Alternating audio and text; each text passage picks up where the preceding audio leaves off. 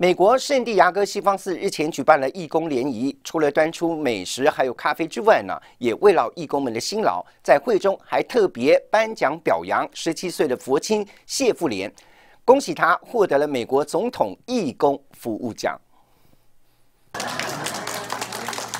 西方四间寺妙藏法师亲自帮佛青谢富莲戴上奖章，恭喜他获得美国总统义工服务奖，表扬他带领团队投入超过两百个小时服务长者、弱势家庭，甚至流浪动物。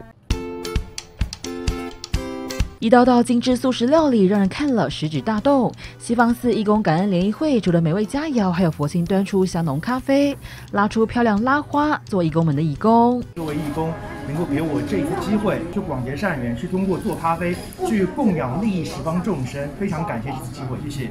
I'm very grateful for everyone who showed up and for. The Venerables putting on such a great event. 吃得饱，吃得足，然后又带了很多很多的礼物回家，非常的谢谢我们的三位法师以及西方寺。三位法师花了两个多月策划温馨联谊，让义工们好感动，也更加珍惜能够三好四给姻缘。有你们真好，我们大家一起来当义工。因为是美国圣地牙哥综合报道。